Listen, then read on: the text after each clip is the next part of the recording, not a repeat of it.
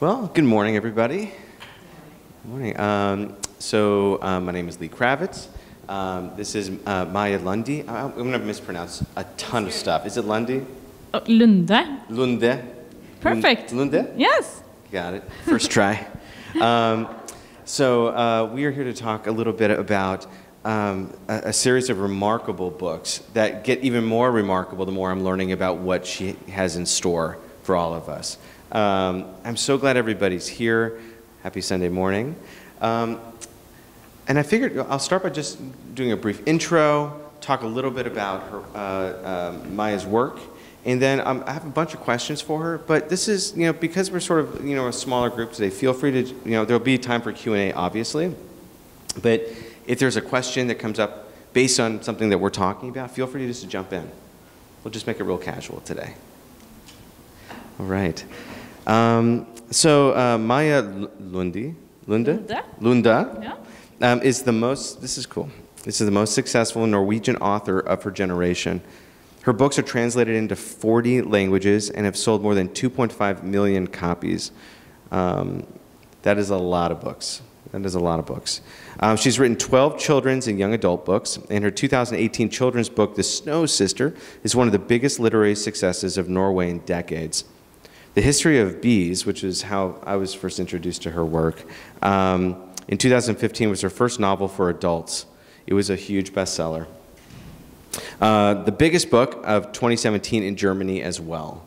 So I mean, this is this is wonderful. Her second novel, Blue, uh, book two of uh, her planned climate quartet, which we'll talk about, uh, followed by book three. Um, it, it was called something different in Norway, right? So here we call it uh, the last of the wild horses, but it's the Przewalski horse, and that comes into play big time in in this. So you can talk to us a little bit about I have a lot of questions about these horses.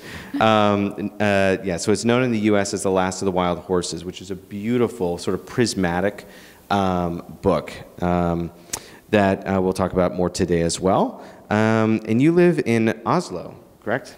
Okay, I'm going to mispronounce this too. Godlia? Godlia. Yeah. Godlia. Okay, Golia. Gulia, Gulia. so you can see that there's some. We were talking about translation. All of her books have been translated, and the books that I've read, and we'll talk about today, have been translated um, into English. And we were talking about how in Norway the language is very sort of plastic. It, it, it can be interpreted in many, many different ways. So I'm really curious about how we, you, the translation sort of changes the tone and tenor of each of these books. Um, but let's start with um, I figured we'd actually frame a lot of today's talk um, about with her latest book, The Last of the Wild Horses, or uh, Przewalski's horse in uh, Nor- uh, Norwegian. Um, and when I say it's a prismatic book, what, what's amazing about it is it's three stories. It's basically three novels that are split and, and uh, each ind- independently written, split, merged together, and twisted together to form a cohesive story that, that spans generations. Um, the first one, 1881, in St. Petersburg. Uh, the bones of a newly de- uh, deceased wild horse is shipped all the way from Mongolia to the uh, zoologist Michael. Did I pronounce his name correct? It's Michael, right? Mikhail. Mikhail, Mikhail, Mikhail, Mikhail. But I'm not Russian, so Okay. you can say Michael. I'm going to Yeah. say Michael. Yeah. um, who discovers it's the same as the prehistoric wild horse thought to be long extinct. This sets Mikhail um, on an expedition to Mongolian plains with an adventurer named Wolf, who uh, offers more than we expect. Um, Let's see. Yeah, and he, uh, you're right. So, who helps him discover much more than horses? I'll just leave it at that. Uh, Mongolia, 1992, is the second story. We meet uh, veterinarian Karen, who works to bring the Przewalski. Pr- Pr- Przewalski. I'm going to mispronounce It's this. really hard. You can also say Takhi, which is Takhi. the Mongolian name for. I, that was a lot easier to, to pronounce. Tataki uh, horses from Europe back to Mongolia, where the last wild horses died out decades ago, in an attempt to reintroduce them to the wild. And this results with varied and sometimes tragic um, events. And then we move all the way to 2064. Um, and this is fascinating. There's a, a woman named Eva who refuses to give up on her farm in, a Europe, in Europe that is falling apart. It's sort of a post apocalyptic Europe or world. There's no power, there's diminishing food, and they're uh, raising the last of the wild mares when a strange woman appears in their lives named Louise. Uh, it's stunning, surprising, it's deeply moving. Um, each story, I mean, maybe we should just start here. You have three different stories, and they're sort of like I said, they start and stop and lead into the next, into the next, into the next.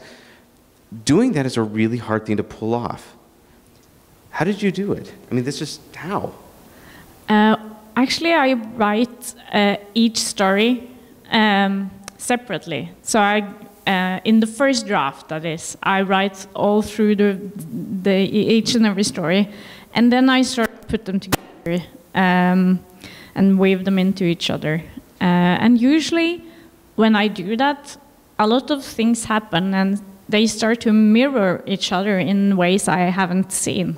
So that's, I guess that's when you write fiction, you sometimes feel that texts are alive and um, things happen that you don't have control uh, over.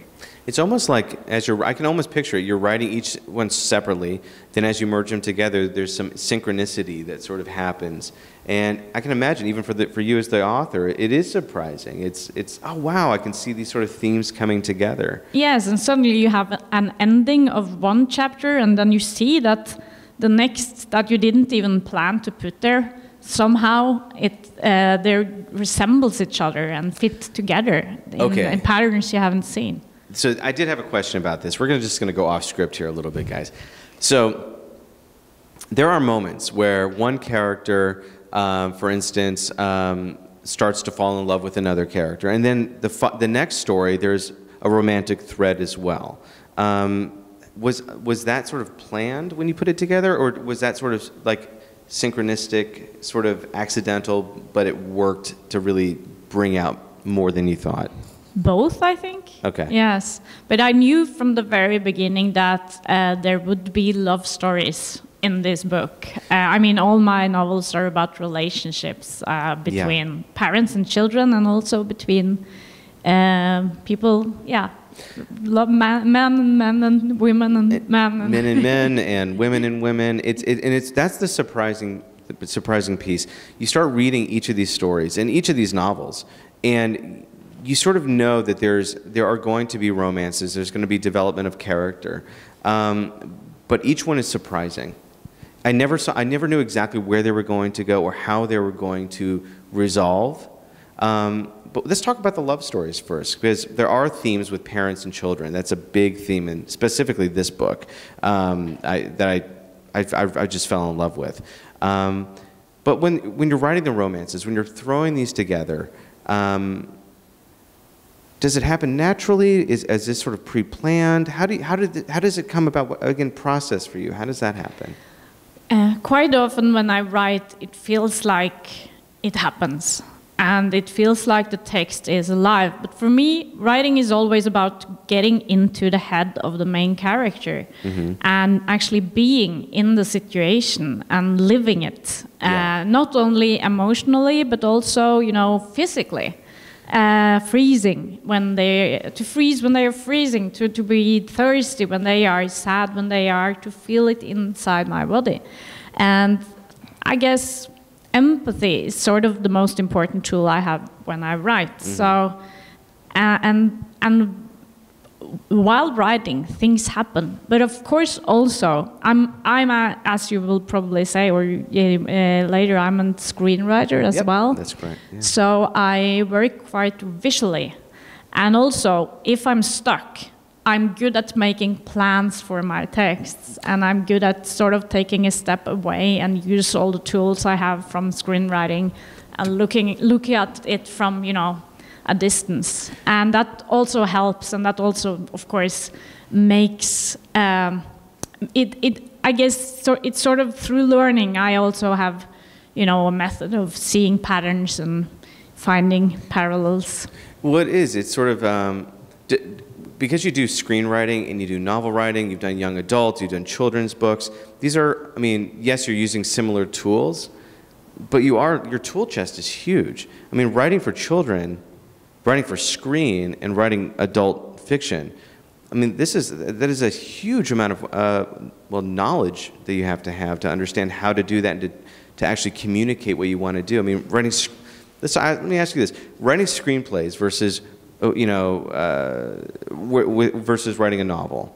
Um, you're talking about when you are writing a novel. You're basically you have to invent the, the, all the environment. You have to inv- invent the internal um, mechanisms and, and, thoughts and feelings of a character and the outside world as well. Um, when you're doing screenwriting, I mean, do you still have that sort of process with that? Well, it's a huge difference between screenwriting and novels because when you write a novel, you write what the character uh, feels. You write through the eyes of the character. Mm-hmm. Uh, and you have to be inside the story. But when you write uh, for uh, screen or TV, mm-hmm. you write what the audience see. So you need to write through the eyes of the audience instead, and you write what they see and they hear. So it's and it's sort of a distance uh, when you write for screen and TV, and you have to tell, you have to show everything. You can't tell, you can't say what the character is thinking. Uh, so it's yeah. a huge difference. And also, sometimes it can be really deliberating to write for screen because you don't really have to think about language. The language doesn't have to be good. you just need just to put it out there. to explain properly what's happening in, in the scene. Well, I'm, I'm curious. Um, so, talk to us a little bit about the screen, uh, screenwriting and the films and, and television that you've worked on. Well, I've done uh, one young adult film, which is on Netflix actually, uh, called Battle, and I've done a um, children film called Border Crossing, which is from in the, it's in the Second World War. It's actually a family film, yeah. and right now I'm working on a new uh, family film based on a Norwegian fairy tale. So it's quite, you know, it's and I also done done some uh, TV series uh, earlier, and will probably work with TV as well, with TV drama. But uh, yeah, can't say much about that yet. I think it's amazing. Would you mind telling us a little bit about? I mean, this is going way, way back, and I promise we'll get back to the books. But I'm really curious. Did you start out writing? I mean, you started writing children's books first and YA books first. Did you start doing television and film first? What was your process getting into this? I actually I wrote a lot when I was uh, little and young and then but i was also really you know into movies yeah. so i took um, a master in film and media and i started to work in the film industry and then i actually started to just write uh, scripts because mm-hmm. uh, i read so many scripts in, in my job and i realized i I could do this. I could do this. so, so I, I, worked as a screenwriter for a couple of years, and then I got really tired of the film industry because everything takes so long. Yeah. And I was kind of eager to get my projects done. So then I actually wrote a book. It's saying of, something. Fr from one of the scripts. It's saying something that it's quicker to get a book written and published than to get something produced. Oh yes, yeah. and and that film actually uh, that was my that was the border crossing, and the film took ten years. So it's, wow, yeah, uh, it's quite consuming. Um, but uh, and then you know when I started to write fiction, it was sort of an epiphany because it was like finding going back to something I had done when I was young and yeah. really loved and it's strange because when I look back at the things I wrote as a, a teenager, the voice is really the same. You're kidding. And the themes, That's... the themes are the same as well. I wrote about nature. I wrote about um, quite dystopian uh, themes. I wrote about parents and children and relationships. So it's really just, I, it's it's fascinating. it's wonderful, and it means that you've always known what you wanted to do. But what's even more, looking at it from a marketing perspective, all the themes that you were interested in when you were younger are evergreen themes, and they're so present today in everything that we're looking at. I mean, I mean, it's hard to look at the last two and a half years and not think, in some way, shape, or form, we are in you know, the back end of, a, of or, the, or the start of an apocalyptic sort of scenario. Uh, nature, environment, climate is, is ever more present. Here in California, over the last uh, four years, I would say, I think it's about four years, is where the, the, the fires have been going on. We get the, the, the forest fires that we've had have been so all encompassing. It is frightening. I've lived here for 20 some odd years. I've never seen it this bad. Um, and we start to see this sort of stuff. I think Australia had the fires. I mean, there's, it, the world is changing. But you've been writing about this for a long, long time. So, how much of this feels like fiction, and how much of it feels almost like, um, sadly, nonfiction? Well, first of all, this has been um, the most important topic for me um, ever since I was a child. We talked a lot about climate issues and and and um, you know nature around yeah. dinner table, um, and I was really. I, I, always knew nature was really important to me. Uh, so this was um, in Norway we say right where it burns, and this is where it burns. Right where it burns. Yeah, so that's where the stories sort of develop as well because it has to be. It has to be you when you write a, a novel. And in writing a novel this huge, you have to marry it, sort of.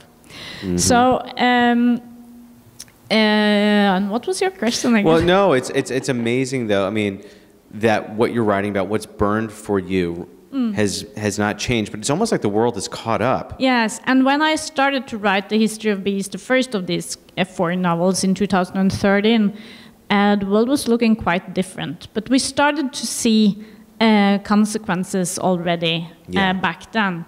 Um, but of course, everything has changed, and now it's sort of um, we all talk about it.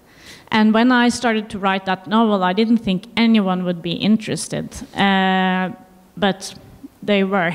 well, they were, but yeah. yeah. And also, you asked if I if I sort of I, I use a lot of research, so my, I try to base my future scenarios on research, yeah. on what will or might happen if we don't stop uh, the climate crisis and the nature crisis, because I write a lot about, you know, other species, the value of wild nature. So let's talk about your research specifically, bees, obviously. I want to go back to the, I want to talk about this book in particular, The Last of the Wild Horses. Um, the, um, so there was a lot about horses, these particular horses that I did not expect to see, that I didn't understand, that I didn't even know. Um, there was one, I have it here. Yeah, the Takhis, like, do they really have 66 chromosomes while the other have 64? I mean, that's fascinating to me. There are another species. The Takhis are actually, or uh, the experts aren't completely, you know, they disagree a bit, but they are believed to be um, the original wild horse, the one we see on cave paintings. Wow. So when it was rediscovered in Mongolia in the 1880s, it was almost like finding unicorns. Uh, you find sort of the, the, the through horse uh, the idea of the horse, uh, if you use Platon. I love that. I did, well, there's, yeah. a, there's so so that's why it was so uh, exceptional as well, and um, uh, and it's for real. And they are you if you uh, breed them with other horses, um, they will after two generations be extinct. So uh, they're not dominant. Their genes are not dominant. So you need to almost have a pure form and keep them that way. Yes. Yeah, so and crossbreeding is really, you know, uh, a lot of people are working on crossbreeding to make sure that uh, they um, stay healthy. Uh, because the horses we have in the world right now, uh, the Takhis, yeah. they all come from only 13 individuals. That is fascinating. Yes, I know. no, it's, I mean, so you, you find these sort of things, these sort of topics that um, are unique. They have this very wonderful sort of world building ability around them. I want to ask you I mean, let's talk about horses again. There's a point when Matthias, um, he's the son of, of Eve, Eva. I'm sorry, Karen. Yeah. That's correct. Karen. And he, he's a troubled kid. He has a troubled upbringing, a, a drug background. Um, and he, he's sort of on this journey with his mom. His mom is sort of reintroducing these horses to, um, to Mongolia. That's the whole idea. And there's varied effects. Some go well, some do not. Um, But he asked his mother at one point, um, "Why horses?" You know, I'm really curious for you. Where did this start for you?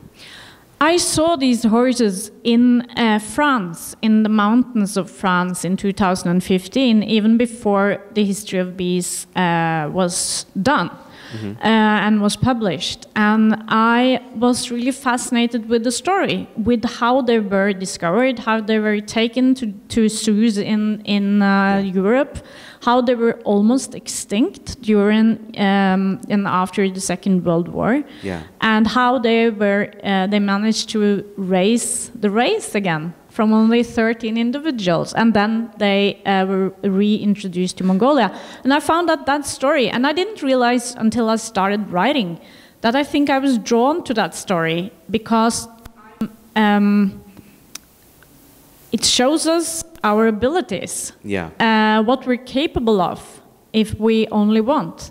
That we actually took care of these horses only because, I mean, we can't use them. They're Yeah. not, uh, they can't be tamed. They're completely wild. They can't be do- uh, domesticated. Can you really reintroduce horses into the wild at this point? Yes. It's, it, it really can be done. Yes, and they, I mean, a couple of thousand of them are now living free in Mongolia. They are. So yeah, so this book is actually based upon true events. Uh, all of yeah, I was a- apart from the future story, of course. Yeah. But the future story could be, well, that's the scary part. It could, it's right around the corner. Um, but when you talk about reintroducing these horses, um, it was fascinating to watch the mating process. It was fascinating to watch where they go and how they, how they migrate and, and how they don't do well. I mean, the, the whole process is fascinating to watch. How much of that was research? How much of it was sort of imagination? well, it's mostly research actually. It is. It's a really research-heavy novel. Uh, and I usually do a lot of research, and I usually write about things that I don't know anything about before I start writing. Yeah. So it's like writing a master's thesis every time.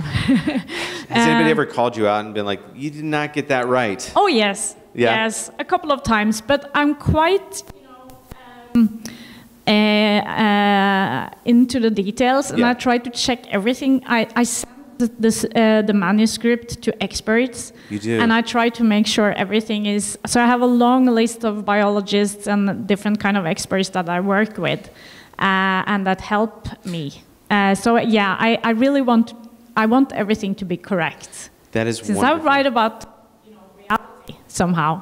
Even though it's Uh, it, it, the dystopic sort of future stuff, even still, is very, very real. And that's what the best science fiction, in my mind, is all about. It's about what's happening now and sort of taking it to the logical or illogical extremes, um, which you do. Um, let's talk about that a little bit. We call this a climate quartet.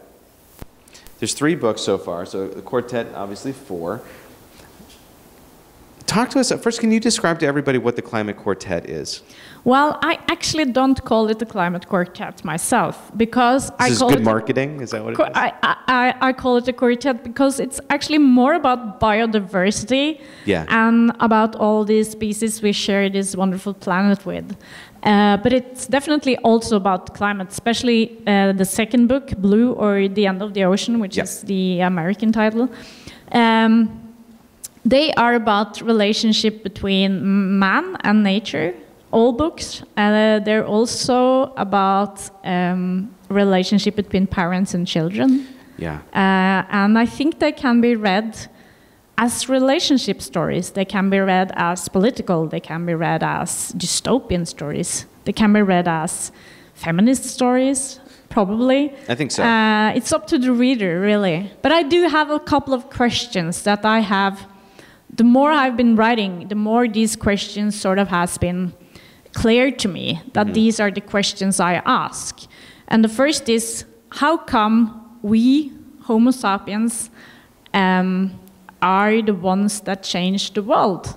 What do we have in us? You know, why us? Um, For, for better or for worse? Absolutely. Yeah. Uh, what's the abilities that made us change the world in such a drastic way? Yeah. And the second question is do we have it in us to make up for our mistakes? Is it possible for us? Or are we just, you know, too short sighted? Uh, Oh. Very smart, but not very, very wise. So yeah, these two questions sort of, I think, run through my, my novels. I don't have the answers. Well, I was going to say there's a there's a question I have it written down here where one character says, um, let me see if I can find this because the line was really striking. Um, let me see if I can bear with me a second here. Uh, duh, duh, duh. Here we go.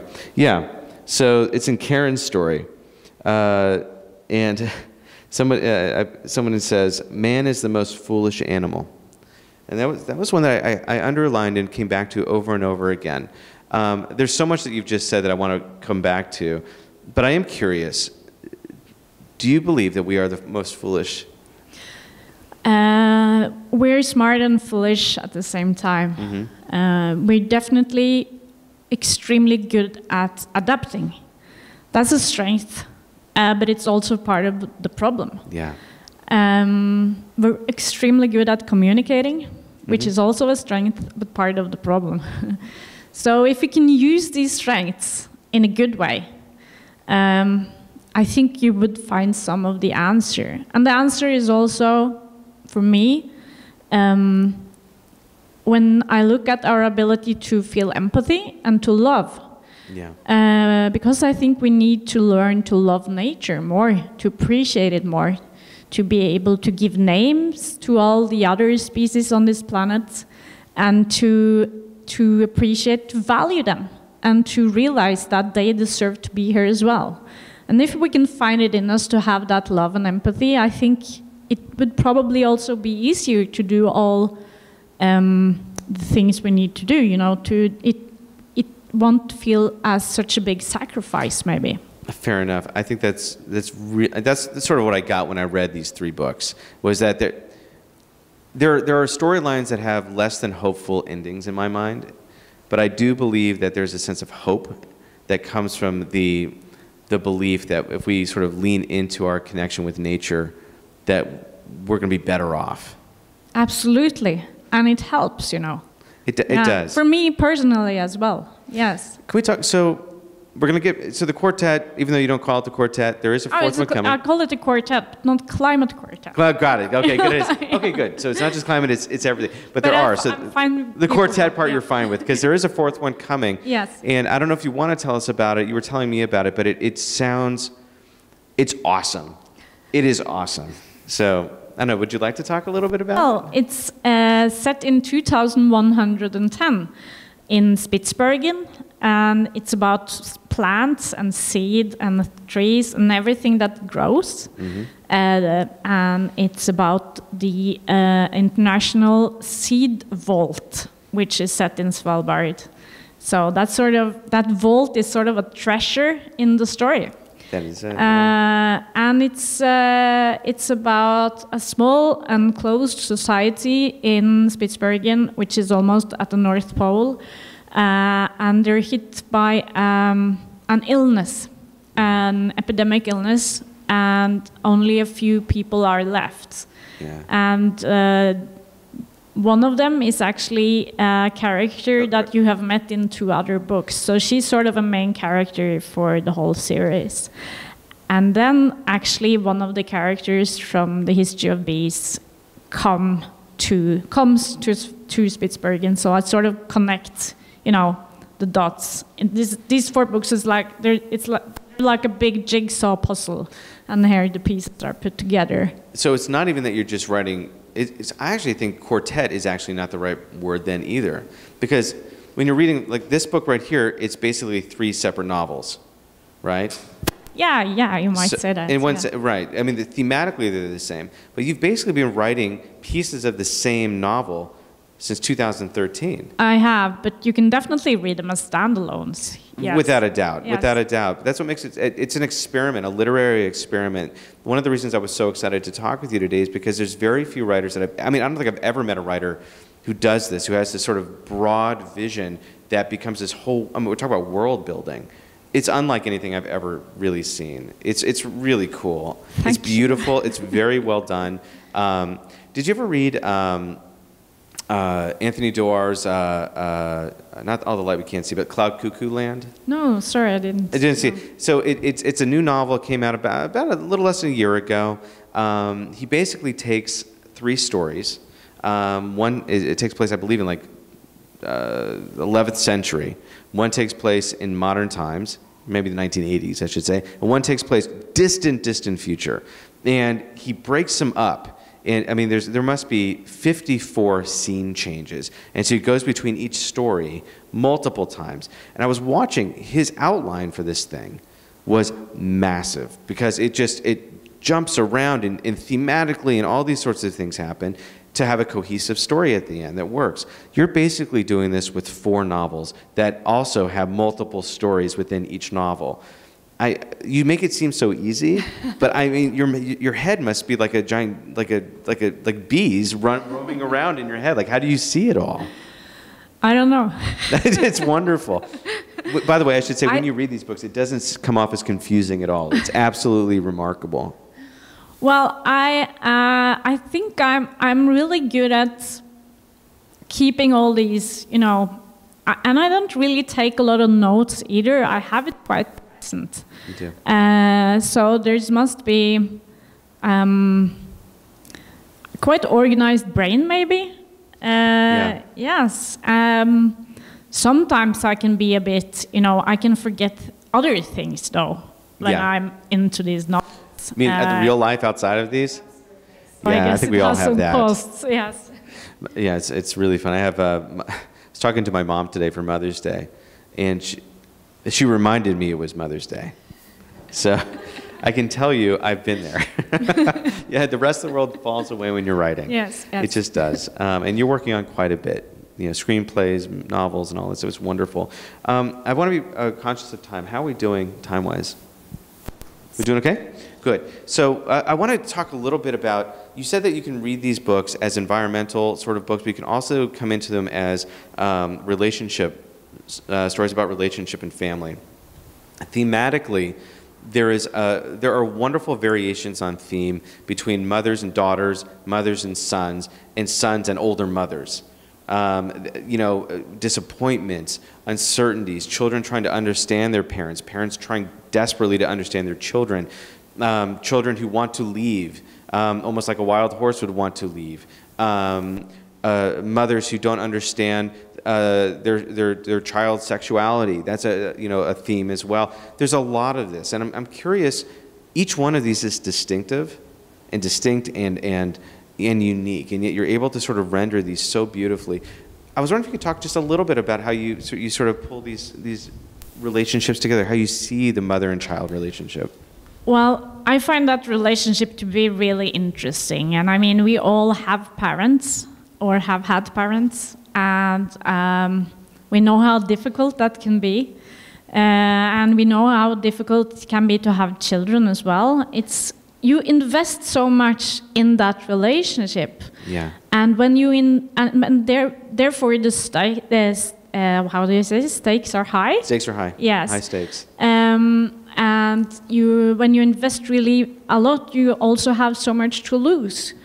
Um, so uh, usually you you're more f- fragile, I think, in that relationship than you are in other relationship. And also, I think it's really interesting because as a parent, I have three three boys myself. Um, you always have to adapt because the children they change all the time um, while you as an adult are pretty much the same. And i mean i am all, i'm um, I'm with a, a, a partner you can also have sort of a stable relationship. You have the same fights. You have the same things that you love about your partner and it goes on for years and years and years. But with your children things just change all the time. And it's really hard for an adult to adapt. Uh, so yeah, and I find that, and also I think we we put our own sorrows and our own hopes into our children, and then we quite often forget that they are, you know, their own persons, that they have other hopes and sorrows, that they're completely different from us. And thematically, it's hard, I would imagine. I know we're getting to the weeds a little bit here, but you know, in order for a story to work on, on, a- on a story level, the, the main character has to change. That's, you know, you start one place, you, you change thoughts, feelings, behaviors, revelations, you know, throughout. I think it's a really tough thing to do, and you pull it off. Uh, you talk about adults who are they don't like to change. They are set in their ways. And what, you know, I didn't actually see this so much. I, mean, I saw the horses, for instance, as, as sort of thematically the same. But I came into this from a relationship point of view. I was really, really um, amazed at watching these sort of, uh, how can I say this? These, these adult characters who are sort of set in their own ways come to understand through the eyes of their children what really needs to happen. Um, it's not really a question so much as just a, a comment. I thought it was just so well done. The horses always, when they came in, I was like, oh yeah, it's, there's horses in this. But it's really about the relationships. It's also about uh, us as animals. Um, eh, in Germany, the book is actually called uh, The Last um, of Its Species, Talk about the of humans. its kind, The Last of Its Kind. So it's sort of a, a title that can be used both on horses and us, which I find beautiful because the book is definitely also about us as animals and our relationship to all the other species on this planet. How do we take care of them? How do we Yeah. respect them? There's some moments of horror, true Mm. horror in these novels. And it's it's the I mean, are we endangered animals too? I mean, obviously the answer is yes. I mean, you read these and you, there's hope. I mean, we should talk about this a little bit too. Some of the reviews I've read and some of the people who you know talk about your books are also sort of curious about these endings. Do you find that these are hopeful moments? Do you end on hopeful moments? Do you find that there's hope? Uh, I'm into open endings. yeah, I noticed. yes. um, I don't want to spoil the endings though. No, but I'm really.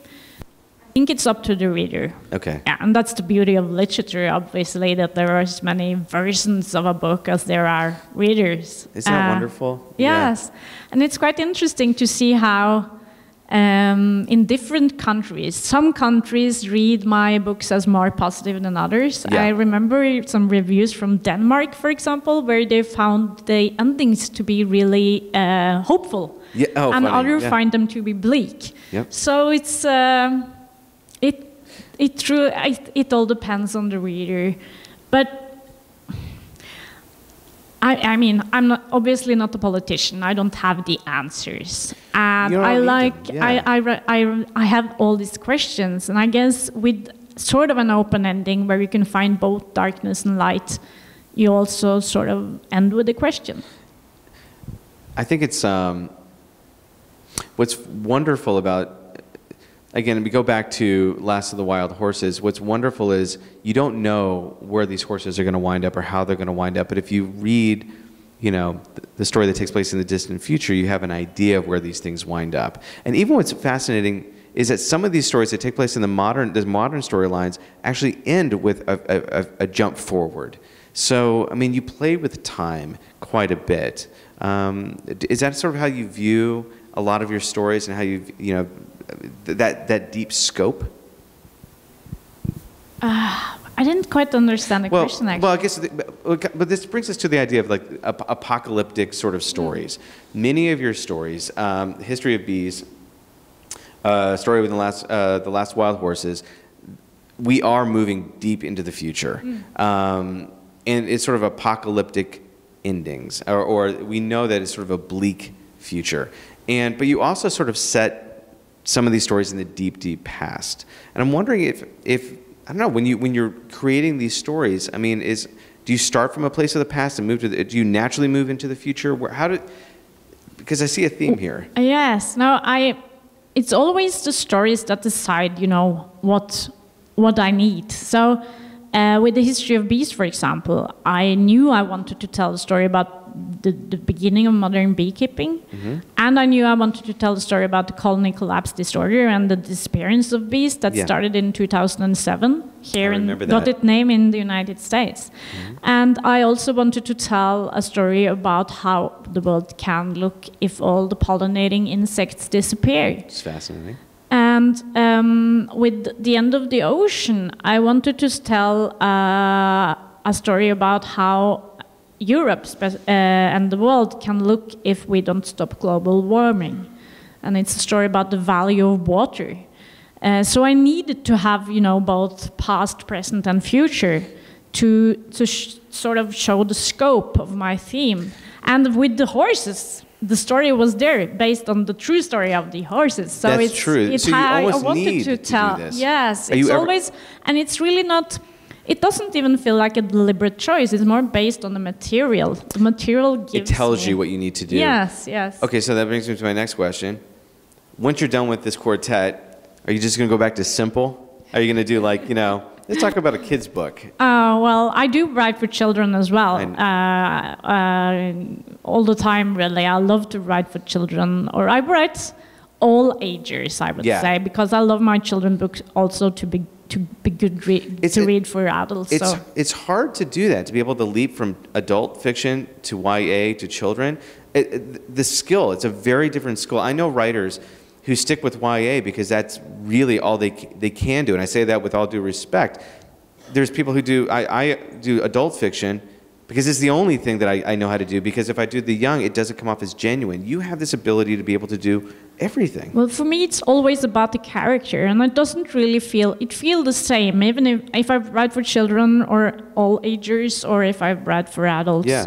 it's always about you know taking your character seriously and looking at the world through the eyes of him or her. And um, when I do that, uh, the language comes along. Uh, so then it doesn't really. I never, I never think about the reader. Actually, I think about my character to make uh, the character true, and to make the story come alive. And so I really don't really, you know. Uh, it's not like I write for a target group.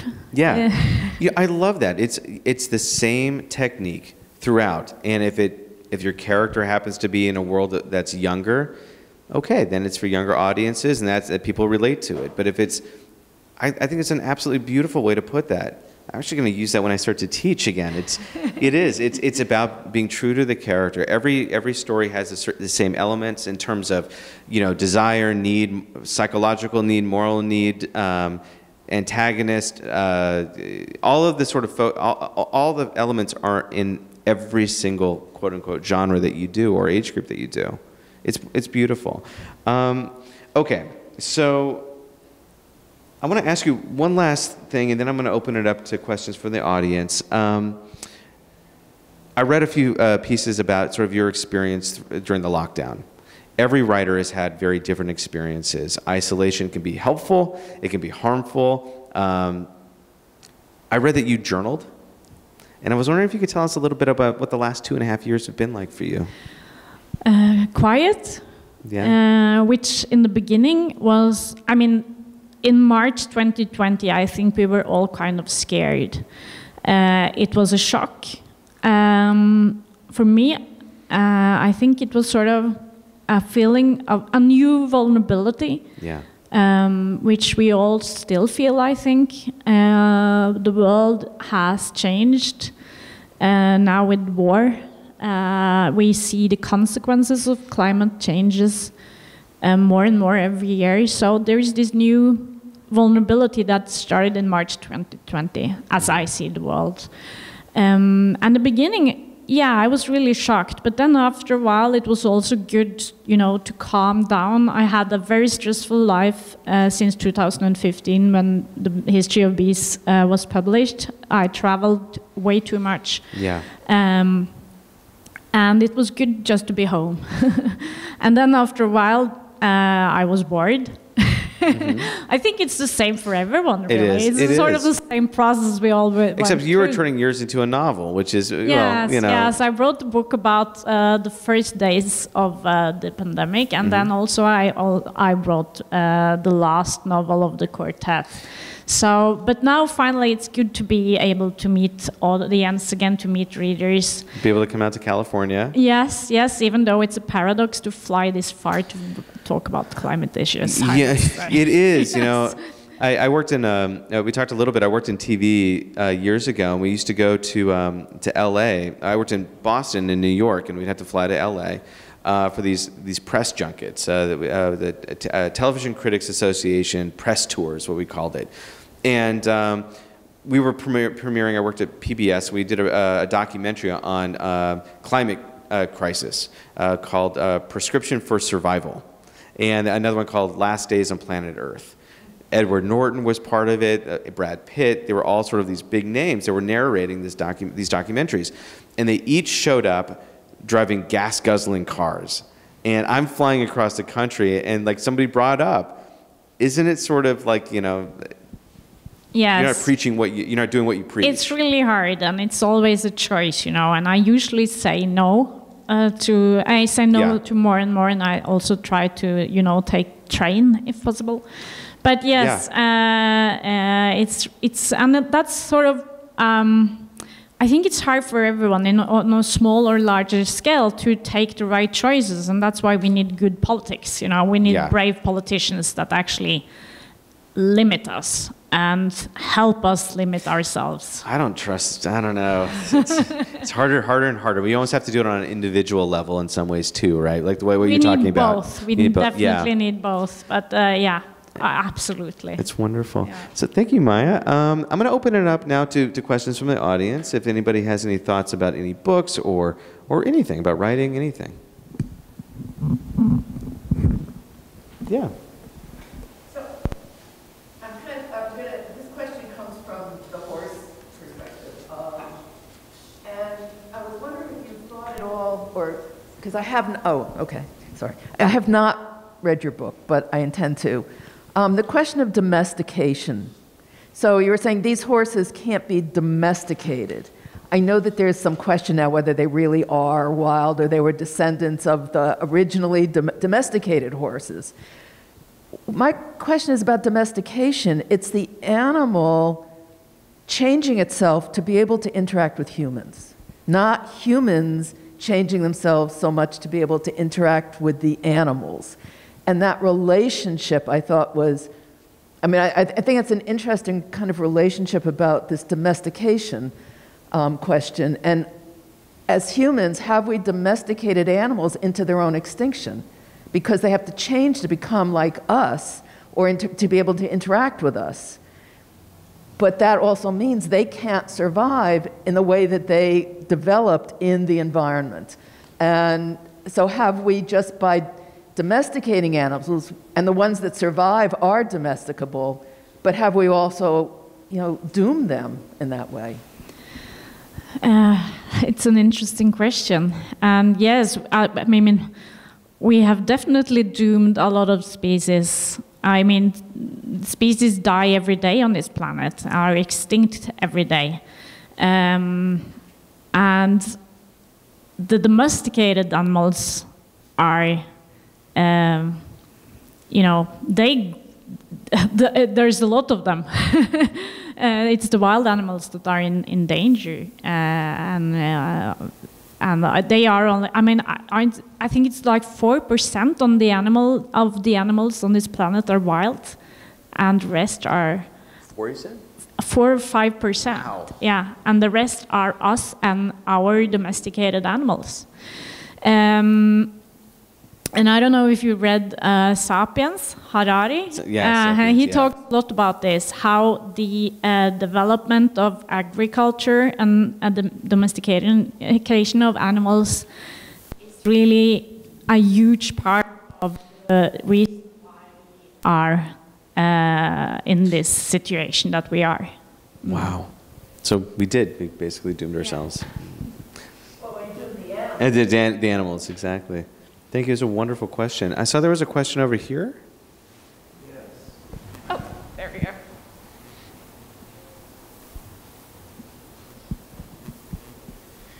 I'm looking forward to reading your book about seeds and the seed bank. Uh, and I wonder if you have any thoughts about uh, the ideas that domestication of plants into such narrow, sort of focused industrial species uh, is one of the threats that we're all facing.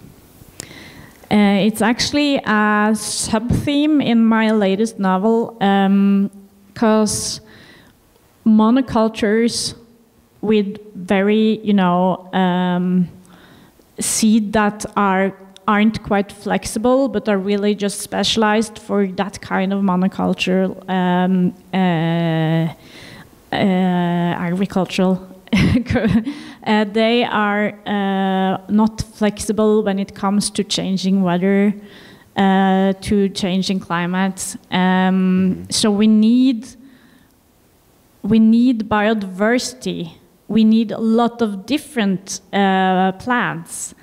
And um, we need our farms to have biodiversity, and we need to go away, away from the monoculture. So that's, yeah, it's really an important uh, task for the world, and it's really part of the solution. Is um, I think it's to, to look at how we grow our food and to uh, to make more um, uh, to make nature wild again, and also to make farming um, more flexible and have farms that are completely different organized than the one we see today. That's wonderful. When is the when's the fourth book? Do you have an idea when it might be out? In Norway this autumn. Oh, that's Uh, great. Yeah, and I don't know. Usually, uh, the U.S. are quite late, uh, so maybe two years from now. it might be easier for me to learn the language rather than have to wait for the translation. So uh, it's worth it. Yeah. Hi, I'm sorry I missed the beginning of your lecture. Uh, I work with horses all my life. Um, I don't know if you addressed the question of wild horses and trying to control the um, breeding or the proliferation um, in an artificial way, or if we let everybody just live their lives, what happens to them? And also, I've, I've seen the horses in Mongolia. I don't know if you addressed th- that situation. Well, I talked a little bit about it, yes, and uh, they do follow the breeding uh, quite. Um, they do follow it, and they try to make sure that breeding is, you know, that there's good crossbreeding, so to speak, so the animals are don't have any trouble. And they ha- it has, of course, been a major part of um, getting um, when they started with only 13 individuals uh, th- the breeding was really important so it was done really neat you know with ske- uh, sh- schemes and uh, schedules and yeah Also controlling the contraception, so they don't proliferate too much. i don't know how they do that now because now there are a couple of thousands of these horses in the world but in the beginning everything was really controlled which you actually s- see a little bit of in this in this book. So um, I don't know if you've had a chance to read this one. One is This is the last of the wild horses. It's the latest one. It's if you if this that goes into a lot of that goes into Mongolia. Um, I think all three story all three storylines or two storylines go into the Mongolian. Two of them. That's right. Two of them do. But they really go there, um, and it's it's it's really great. The level of research you did on that as well, because these are in different eras and different. I mean, the original was 18, uh, the late 1800s, correct? Um, we, we talk a li- we haven't talked a lot about this research, but how in the world did you do that? Oh, it was research heavy. Uh, It- it must have been. yes. And I went to Mongolia. I went to Russia. You did, you did. I slept in a tent on the steppes in Mongolia. Wow. Yes, and I uh, no, it was just overwhelming, and uh, I had uh, weeks uh, with this book that I was like, oh, why did I do this? you set yourself up. yeah. But it's true because it's world building that you it, you feel it, you smell it, you taste it. It's the, all the senses are are covered in an in, in this era that no we, we you couldn't have gone to. And yet you really capture it. The, the, his, you know, the relationship with Mikhail, Mikhail and, and Wolf uh, was fascinating because it wasn't just about the relationship; it was about the world around them that was happening at that time. I mean, it, it feels very present. Thank you. I read a lot of Tolstoy actually. Yeah. Oh, okay. Yes. Tolstoy, Yes. never go wrong. um, do we have any other questions? You will read the book. That's not a question, but a great comment. Um, so we are going to be um, signing books. Uh, uh, tent, uh, one of the first tents. Um, Let me get that right. Uh, tent nine, I believe it is. Um, so right on the corner, when you go over to the plaza, just walk Allston all the way up, and it's the very first tent. We will be there signing books. Um, I'll be signing a little bit of mine, but mainly uh, Maja's going to be uh, there to answer any questions and sign books and personalize them as well. Well, thank you. I appreciate that. um, guys, thank you for coming. Um, and thank you, Maya, for coming all the way out. It- this is honestly, I, I told you this as we were walking over. Being able to sit here and talk with you and pick your brain about the complex things that you were able to, to pull off, you make it look easy. I know it wasn't easy at all. And this has been a project that's well over almost a decade long in the process. It's been incredible to sort of follow the process. Um, I'm really looking forward to seeing what you do next. Thank you. You. Thank you for the conversation.